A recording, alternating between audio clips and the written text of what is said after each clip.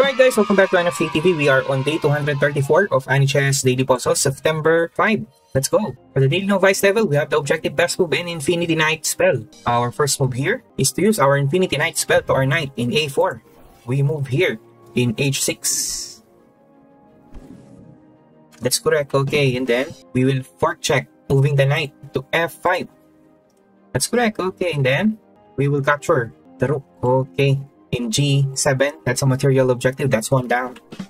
And for the bonus puzzle, we have the objective best move and Parkour Mech spell. Transforms any piece except king or queen into a knight. Here's the opponent's king. Our first move here is to use the spell, Parkour Mech, and transforms the pawn, the knight in B6 check. That's correct. Okay, and then our next move, we move the rook to H7. That's correct. Then our next move is to move the knight to B7 check.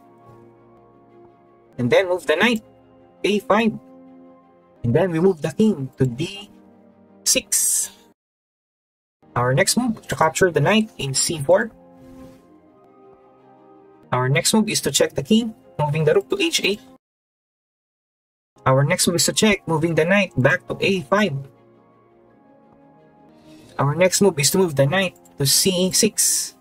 That's correct, okay, and then checkmate guys, moving the rook to b8.